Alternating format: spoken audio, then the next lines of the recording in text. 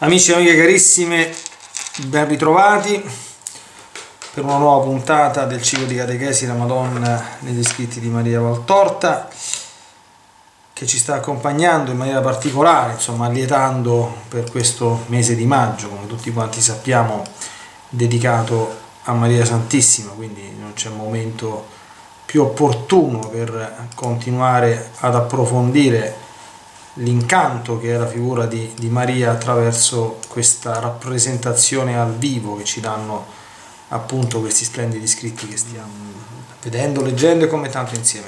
Questa è la puntata numero 37. La volta scorsa ci siamo lasciati con il bellissimo episodio di Maria Santissima che intercede a modo suo e per una grazia straordinaria strappata a Gesù in favore di Simon Pietro, una grazia che lui aveva provato a chiedere di persona a Gesù, alla quale Gesù aveva opposto un diniego motivato insomma, da ragioni ben solide, che però ecco, la Madonna riesce ad ottenere facendogli vedere le cose a Gesù da un altro punto di vista, insomma, no? Ecco, quindi è un episodio molto molto grazioso. Ora abbiamo una serie di ulteriori episodi che sono una variante su questo tema, una variante evidentemente meravigliosa che ci gustiamo pieni di, di, di gioia. Allora, riprendo la lettura proprio da, siamo, da dove ci siamo fermati la volta scorsa, perché è il testo digitale, siamo a pagina 340. L'efficace, direi la magica realtà di questo segreto, quindi il segreto di Maria e del suo potere nel ottenere grazia presso il cuore di Gesù, appare in modo manifesto da vari altri episodi riferiti nell'opera. Riportiamo qui i più significativi. Si presenta un giorno a Gesù una povera madre con un bambino paralitico sulle braccia. Maria le va incontro, prende quel bambino fra le sue braccia e si presenta al figlio. Si inginocchia e dice, figlio, per questa madre non altro. Gesù sorride e rivolto alla mamma del piccolo paralitico dice, Donna, vieni qui. La donna va, Gesù le pone una mano sulla testa e dice solo, sii lieta. E ancora non ha finito di dire la parola che il fanciullo, fino allora steso pesantemente sulle braccia di Maria, e con le gambe ciondoloni si siede di scatto e con un grido di festa, mamma, corre a rifugiarsi sul seno materno.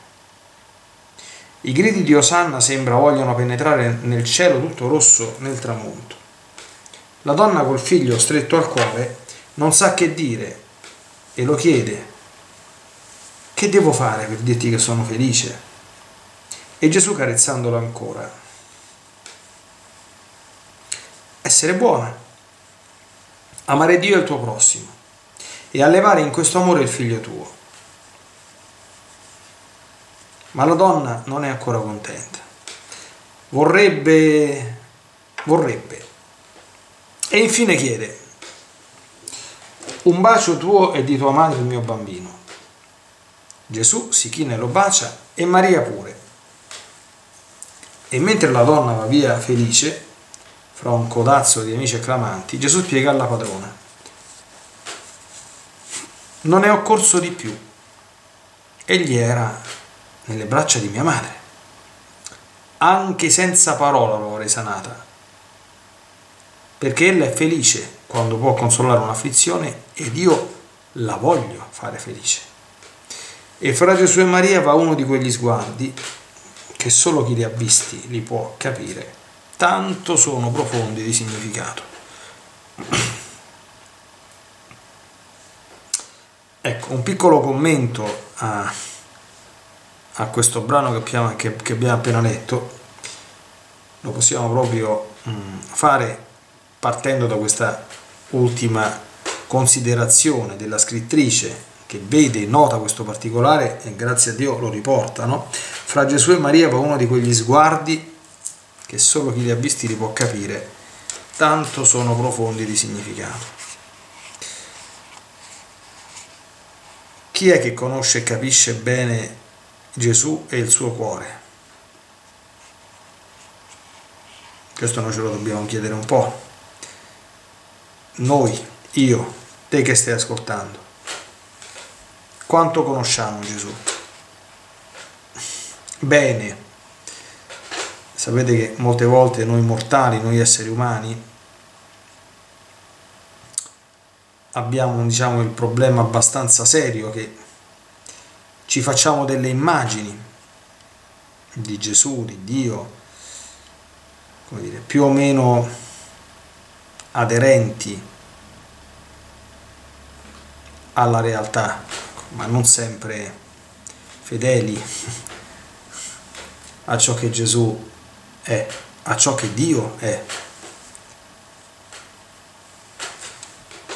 Chi è Gesù lo conosce molto bene, lo conosceva molto bene, evidentemente Maria Santissima. Ma anche Maria Santissima, anche tra noi mortali, e anche in tanti ambienti di, di chiesa, siamo sicuri che abbiamo un'idea adeguata di chi sia Maria Santissima.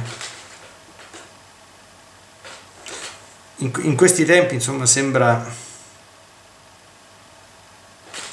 sembrerebbe essere un pochino prevalente una sorta di minimalismo mariano che non è che sia proprio molto opportuno si tende a minimizzare eh, la figura della Madonna a, nel timore che dandole troppa importanza dandole troppa considerazione in qualche modo si venga a sminuire la figura di Gesù.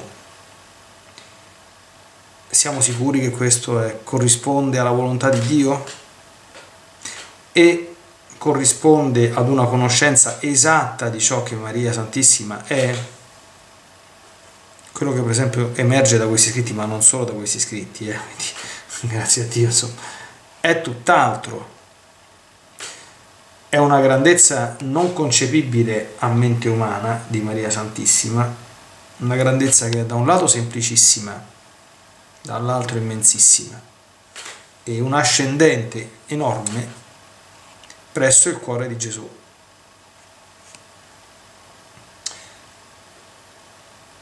Le parole che Gesù dice, non è occorso di più, egli era nelle braccia di mia madre, anche senza parola lo avrei sanato perché ella è felice quando può consolare un'afflizione e io la voglio fare felice. Ella è felice ed io la voglio fare felice. Quindi Gesù vuole fare felice la Madonna. Dietro molte cose che la Madonna è, c'è proprio quel voglio perché la Madonna appare anche questo, lo vedremo sicuramente in alcuni passaggi nel scritti di, di Maria Valtorta. Per quello che dipende da lei, se dovesse dipendere solo da lei, la Madonna vorrebbe scomparire, d'accordo? Ma la volontà di Dio non è in questo senso. E quindi la Madonna non può e non deve scomparire. Sarebbe veramente una, una, un disastro per tutti noi se la Madonna scomparisse. Anzi, più di qualche volta la Madonna non soltanto che deve proprio apparire, quindi non soltanto deve esserci e non deve scomparire, ma deve apparire perché possano compiersi per sua intercessione, per la sua opera, per la sua azione, i disegni dell'Altissimo. Non perché la sua azione sia assolutamente imprescindibile indispensabile, ma perché Dio vuole che alcune cose si facciano attraverso la sua presenza, attraverso la sua intercessione, attraverso la sua azione. Ecco, questa è una prima doverosa considerazione mariana, siamo nel mese di maggio, quindi mi sembra quanto mai opportuno un altro episodio. Siamo nel terzo anno della vita pubblica di Gesù. Otto apostoli insieme a Giovanni di Endore e Sintica, incaricati da Gesù di preparare l'evangelizzazione l'Asia Minore, salgono su di una barca nel porto di Tolemaide e si dirigono verso Tiro.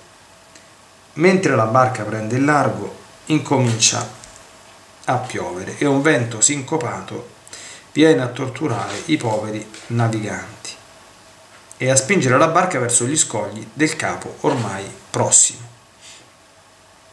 Giunti finalmente al capo, pensano di interrompere il viaggio, ma predomina il concetto che si deve ubbidire al maestro anche contro il buon senso e lui ha detto che si deve arrivare a tiro tutto in una giornata. E vanno.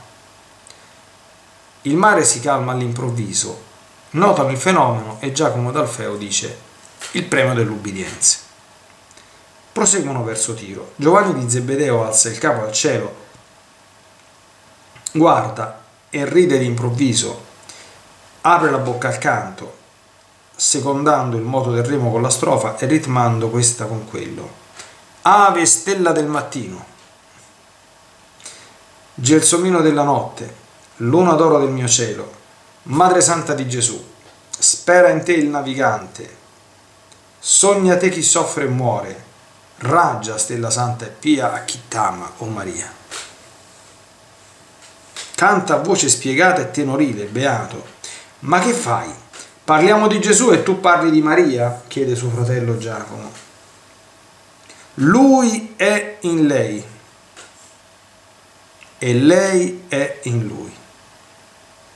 Ma lui c'è perché c'è stata lei. Lasciami cantare e ci dà dentro trascinando gli altri. Giungono a tiro così ed è comodo lo sbarco nel porticciolo. Quindi si vede l'episodio prosegue, facciamo una prima sosta. Ecco. E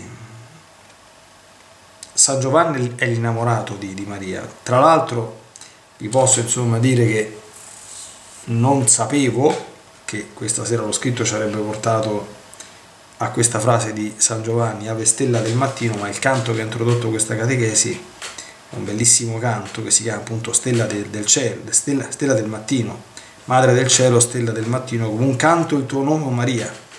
Cioè, esattamente quello che San Giovanni ha fatto, insomma, no? che ha come un canto il tuo nome, ha cantato, si è inventato un canto alla Madonna. E dentro questo contesto, diciamo così, di navigazione problematica e travagliata. Ed è bellissima la risposta che San Giovanni, tutti quanti l'avremmo colta, dà a suo fratello. Dice, stiamo parlando di Gesù, stiamo dicendo, ecco, ehi, eh, la tempesta si è fermata perché abbiamo obbedito al maestro e tu parli di lei. E lui risponde, lui è in lei e lei è in lui. San Giovanni Evangelista, San Giovanni, sapete che anticamente nella tradizione della Chiesa è anche chiamato San Giovanni il teologo con la T maiuscola. Il simbolo di San Giovanni è l'aquila, quindi quello che si addentra meglio e più degli altri dentro la conoscenza dei, dei divini misteri. E quindi sappiamo che il Vangelo di San Giovanni parla in maniera teologicamente elevatissima di Maria Santissima la presenta alle nozze di Cana e sotto la croce e San Giovanni ha scritto anche il libro dell'Apocalisse, cioè la donna vestita di sole con tutte quante le significazioni e le implicanze molto importanti di, di quel brano. Era l'innamorato di Maria ed infatti ha meritato da Gesù, beato lui, non soltanto di essere il destinatario del primo della prima consacrazione fatta al cuore immacolato di Maria, che quella l'ha fatta Gesù sulla croce, eh? donna ecco tuo figlio, figlio ecco tua madre, è la prima consacrazione ufficiale al cuore immacolato di Maria. Adesso non approfondiamo insomma questo, questo, questo discorso, se no veramente ci porta via tutta quanta la, la puntata. Giovanni avrebbe meritato di tenerla con sé a casa, di vivere con lei per lunghi anni. E vivere per lunghi anni con, con Maria è una grazia immensa. Ce l'hanno avuta soltanto Gesù, San Giuseppe e San Giovanni. San Giovanni dice, lui è in lei perché la Madonna è la fotocopia di Gesù. Ma attenzione, vero anche il contrario, lei è in lui. E perché? Lui c'è perché c'è stata lei. È vero che la Sapienza si è costruita una casa, cioè la Madonna è stata fatta così come è stata fatta perché doveva diventare la madre di Gesù, la sua abitazione vivente. Eh, ma è anche vero che lui esiste, ha avuto carne perché la Madonna ha detto il suo fiat.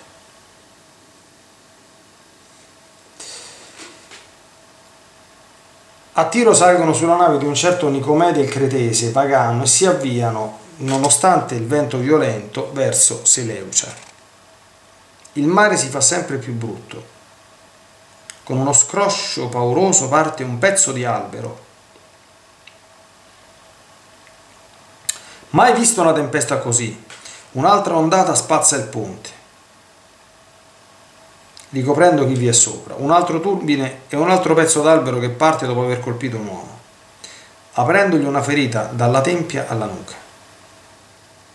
Pietro lo raccoglie, lo pone sulla nave e Sintica lo cura maternamente, applicandogli l'unguento di Maria, preparato dalla Madonna e pregando. A questa applicazione il sangue diminuisce il suo affluire. Intanto continua il rovinio mentre la nave si impenna e sprofonda senza sosta. Nicomede, il cretese, decide di offrire un sacrificio a Venere. Pietro si oppone energicamente, ma Nicomede accende gli incensi e li butta in mare insieme al liquidi che prima ha offerto a Venere. Le onde però anziché calmarsi diventano sempre più furiose e minacciose, trascinando via tutte le bacheche del rito e per poco lo stesso Nicomede. Bella risposta ti dà la tua dea, esclama Pietro. Ora a noi. Anche noi abbiamo una, più pura di questa fatta di spuma, ma poi canta Giovanni come ieri e noi ti verremo dietro, vediamo un po'. Sì, vediamo un po', risponde Nicomede, ma se accade di peggio vi butto in mare per, propiz per propizie vittime. E va bene, replica Pietro, forza Giovanni. E Giovanni intona la sua canzone a Maria, quella già riferita, Ave Stella del Mattino secondato da tutti gli altri, come anche da Pietro, che di solito non canta mai, stonato com'è. Il cretese con le braccia conserte e un sorriso tra irato e ironico sul volto li guarda. Poi dopo la canzone pregano a braccia aperte, poi cantano più forte e così alternano senza paure, senza interruzione nonostante le ondate che li schiaffeggiano, sono sicuri. E le onde realmente diminuiscono di violenza piano piano. Il viso del cretese è un poema di stupore. Pietro lo sbircia e non cessa di pregare, Giovanni sorride e canta più forte. Gli altri lo secondano, vincendo il fragore sempre più nettamente, man mano che il mare si praca in un giusto modo e il vento in un giusto spirare. E ora? chiede Pietro al cretese. Che ne dici? Ma che avete detto? chiede il cretese. Che formula è? Quella del Dio vero e della sua santa ancella. Strano, replica il cretese, ma quella stella che adorate chi è? Sempre Venere, no? Venerate, si dice. Si adora solo Dio, ma niente Venere. È Maria, Maria di Nazareth, Maria ebrea, la madre di Gesù, Messia di Israele. Anche questo episodio, insomma, un episodio straordinariamente grazioso, ecco, la, la potenza del canto a Maria contro la tempesta nella barca. Ci abbiamo mai pensato noi quando ci prende qualche cosa, quando c'è qualche grossa rogna, qualche problema? Un bel canto alla Madonna. Un canto d'amore però, eh. Il canto di Giovanni ce, ce lo risentiamo un attimo, no? è un canto di, di amore ave stella del mattino, gelsomino della notte, luna d'oro del mio cielo, del mio, quindi è personalizzato, no? questo è il canto d'amore proprio di San Giovanni alla Madonna. Madre Santa di Gesù, spera in te il navigante, sogna a te chi soffre e muore, raggia stella santa e pia, a chi t'ama, oh Maria. Eh, sono belle parole, sono. Quindi, pensiamoci, sono tanti bei canti alla Madonna e proviamo, invito a fare questa prova, ecco, quando c'è qualche problema, anche grosso, eh, qualche prova, qualche tempesta anche grossa, un bel canto alla Madonna. Beato chi lo canterà con fede e se uno è stonato fa niente. C'è quella bella canzone che si chiama Canzoni stonate, no? Ora passiamo al secondo paragrafo, quindi abbiamo visto il primo paragrafo eh, di questa nuova sezione, il fatto dell'associazione di Maria alla distribuzione di tutte le grazie, no? quindi qui adesso stiamo studiando, stiamo approfondendo il discorso di Maria dispensatrice di tutte le grazie.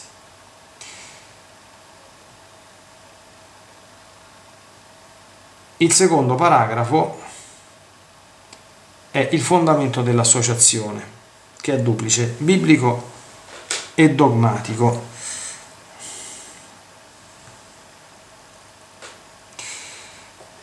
Il fondamento biblico. La potenza della mediazione di Maria appare evidente da due fatti del Vangelo. Dalla visita di Maria alla sua parente Elisabetta e dalla intercessione di Maria presso il figlio durante le nozze di Cana. Nel salutare la Madre del Signore, Elisabetta fra l'altro dice, alludendo alla grazia della santificazione del Battista nel suo seno, Te benedetta per aver portato la santità al figlio mio che lo sento, balza come capretto festante di giubilo nel mio seno perché si sente liberato dal peso della colpa, chiamato ad essere colui che precede, santificato prima della redenzione dal santo che cresce in te. E Maria confermerà dicendo, la mia presenza aveva santificato il Battista. All'esclamazione di Elisabetta, quanto dolore si deve soffrire per essere madre, Maria lasciami mettere le mani sul tuo seno, la Vergine fa seguire questo commento. Oh, se nel vostro soffrire mi chiedeste sempre questo. Io sono l'eterna portatrice di Gesù. Egli è nel seno mio, come ostia nell'ostensorio. Chi viene a me, lui trova.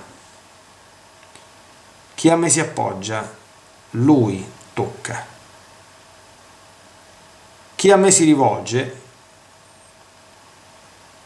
con lui parla. Io sono la sua veste, egli è l'anima mia. Più, più ancora unito, ora di quanto non fosse nei nove mesi che mi cresceva in seno, il figlio mio è unito alla sua mamma. E si assopisce ogni dolore, fiorisce ogni speranza e fluisce ogni grazia a chi viene a me e mi posa il suo capo sul seno. Io prego per voi, ricordatevelo. La beatitudine d'essere nel cielo, vivente nel raggio di Dio, non mi smemora dei miei figli che soffrono sulla terra. Ed io prego, tutto il cielo prega, poiché il cielo ama, il cielo è carità che vive. La carità ha pietà di voi. Ma non ci fossi che io, vi sarebbe già sufficiente preghiera per i bisogni di chi spera in Dio. Poiché io non cesso di pregare per voi tutti, santi e malvagi, per dare ai santi la gioia e per dare ai malvagi il pentimento che salva. Venite, venite, figli del mio dolore, vi attendo ai piedi della croce per darvi grazie.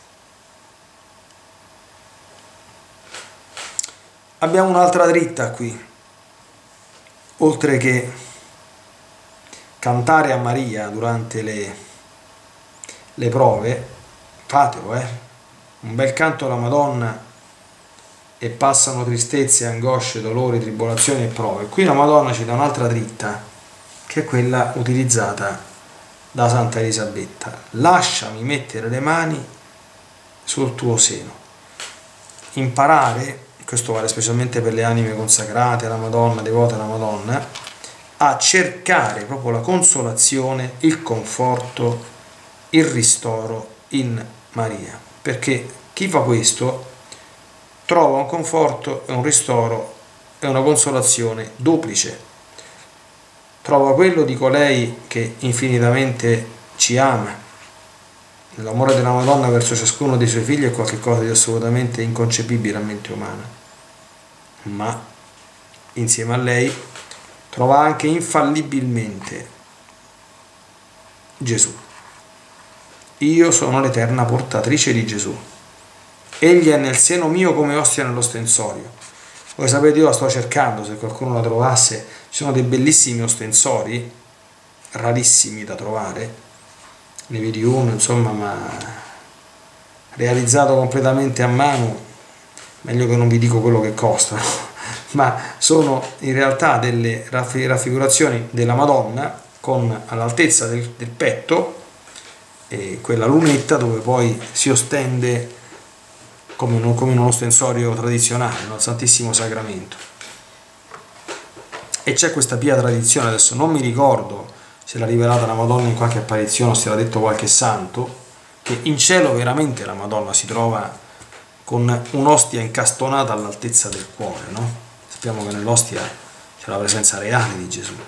Dice chi viene a me lui trova, chi a me si appoggia lui tocca, dice voglio, toc- dice, voglio accoccolarmi sul seno di Maria, vai, tanto accoccolandoti sul seno di Maria riposerai sul cuore di Gesù, la stessa cosa.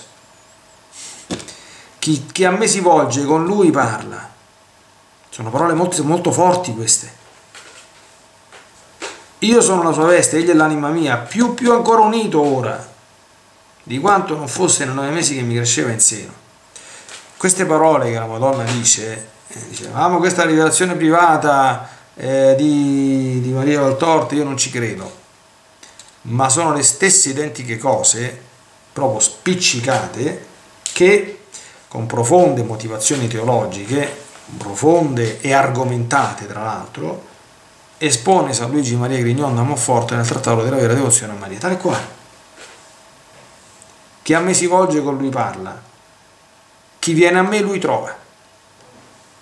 Via proprio infallibile. Cioè, San Luigi ha proprio insegnato la vera devozione alla Madonna, la consacrazione totus tuus, la schiavitù d'amore, chiamiamola come vogliamo, perché lui era certissimo che se si va con un'autentica devozione a Maria, sicuramente si trova Gesù, è infallibile anzi è la garanzia migliore per trovare un Gesù vero, non un Gesù taroccato, diciamo così, o rielaborato e rifatto a nostra immagine e somiglianza. È bellissimo, vi attendo ai piedi della croce per darvi grazie. Si assopisce ogni dolore, fiorisce ogni speranza e fluisce ogni grazia a chi viene a me e mi posa il suo capo sul seno. Un gesto bellissimo, no?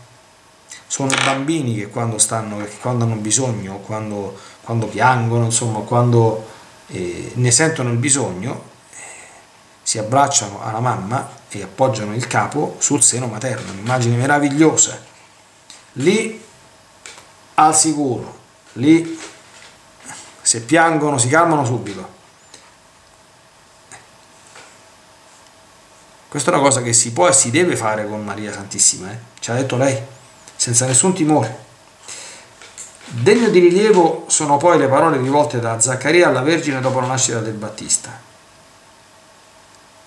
Quindi, dopo che Zaccaria riapre bocca dopo il mutismo abbastanza lungo durato per tutto il tempo della gestazione di San Giovanni, dice tutte le grazie tu ci hai portato con la tua venuta, perché dove tu vai o piena di grazia, Dio opera i suoi prodigi e sante sono quelle mura in cui tu entri. Sante si fanno le orecchie che intendono la tua voce e le carni che tu tocchi. Santi i cuori, poiché tu dai grazie. Zaccaria, sacerdote dell'Altissimo, eh, dell'Antico Testamento, lui quando c'è l'Annunciazione stava ufficiando appunto come sacerdote nel Tempio Ora, secondo la letteratura mariana, la visita di Maria Santissima a Santa Elisabetta è stata la prima grazia ottenuta da Maria, evidentemente operata da Gesù, ma per mezzo di Maria, nell'ordine spirituale o, se si preferisce, nell'ordine della grazia. Noi però sappiamo anche che c'è il primo miracolo che Gesù ha fatto in quello che si chiama l'ordine della natura, cioè un miracolo sensibile, visibile, quale le nozze di Cana. Per mezzo di chi?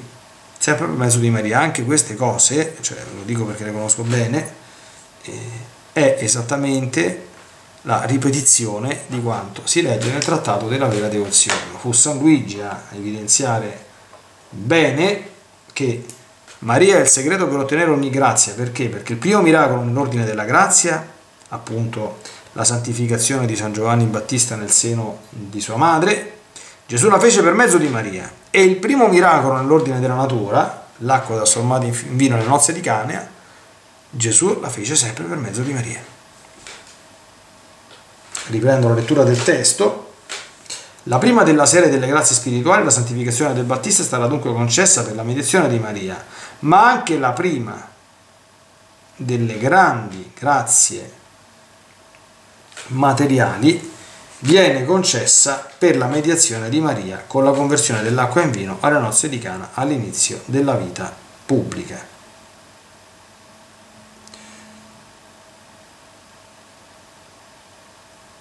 Un giorno, mentre Gesù si trova a Bezzaida, nella casa di Pietro, gli si presenta Giuda Taddeo, suo cugino, e gli dice Vengo da Cafarnao. Vi sono andato con una barca e qui pure sono venuto con essa per fare più presto. Mi manda tua madre e dice Susanna è sposa domani. Io ti prego, figlio, di essere a queste nozze. Maria vi prende parte con lei la madre mia e i fratelli Tutti i parenti vi sono invitati, tu solo saresti assente, ed essi, i parenti, ti chiedono di far contenti gli sposi. Gesù si inchina lievemente, aprendo un poco le braccia e dice, il desiderio di mia madre è mia legge, ma anche per Susanna e i parenti verrò.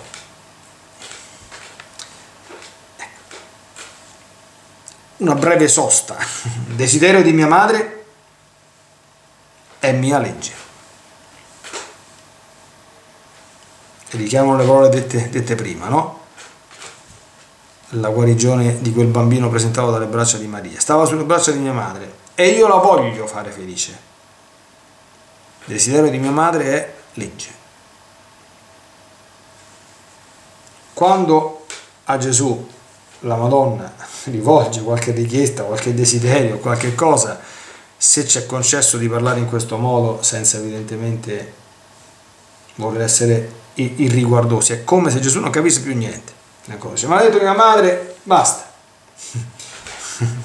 Quindi non nega eh, grazie a, alla madre. Per questo, penso che l'abbiamo sentito dire, in qualche modo lo, lo conosciamo, e in teologia e mariologia, da tanti santi, da tanti santi mariologi, la Madonna è chiamata l'onnipotente per grazia Oh, che significa?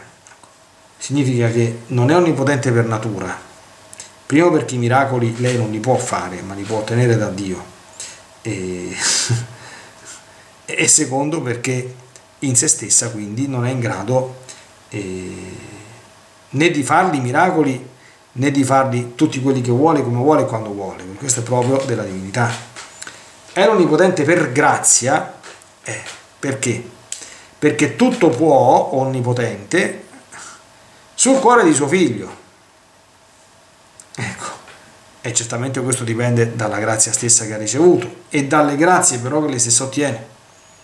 Quindi non è onnipotente per natura, come l'Altissimo, ma viene chiamato onnipotente per grazia, perché o da qualcun altro viene, chiamato, viene chiamata Maria Santissima l'onnipotenza supplice cioè, che sembra una contraddizione in termini, no? perché uno che può fare qualunque cosa eh, è potentissimo, non ha bisogno di supplicare a nessuno. Ecco, no, la Madonna non può fare qualunque cosa, perché la Madonna non è il Padre Eterno, è l'onnipotenza però supplice, cioè lei supplica e supplicando ottiene qualunque grazia che chiede presso l'Altissimo. e come vedremo però è meglio che ci aggiorniamo alla prossima puntata perché adesso l'episodio delle nozze di Cana è molto ampio per cui o lo eh, facciamo con troppa velocità quindi leggendo con troppa velocità e limitando al minimo i commenti ma non mi sembra il caso oppure tanto qui siamo ancora nell'introduzione ci salutiamo e quando poi tratteremo questo argomento quando ci rincontreremo la prossima settimana tratteremo questo argomento con l'attenzione e con la considerazione più ampia che merita. Quindi per oggi fermiamoci qui ecco portandoci dietro questa espressione di Gesù desiderio di mia madre è mia legge